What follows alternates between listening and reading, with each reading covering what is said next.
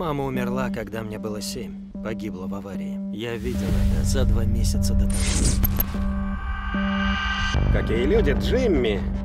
Как жизнь? Потихоньку, как у всех. Я Джеймс. Анджела, У меня к тебе дело. Можешь снова проделать этот фокус у себя в голове? Найди способ, как мне безопасно передать бриллианты.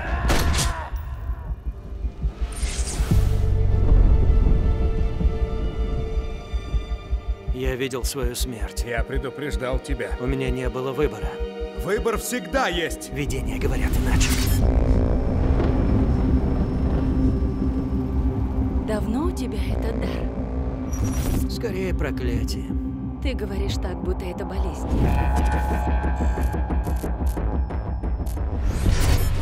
Он говорил, что видел момент передачи. Представляешь, что у него в голове?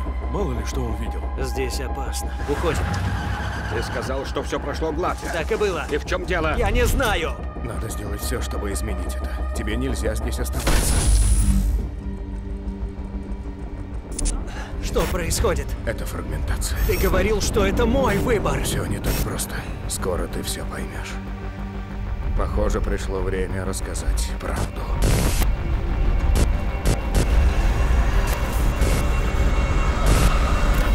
Кольцо времени.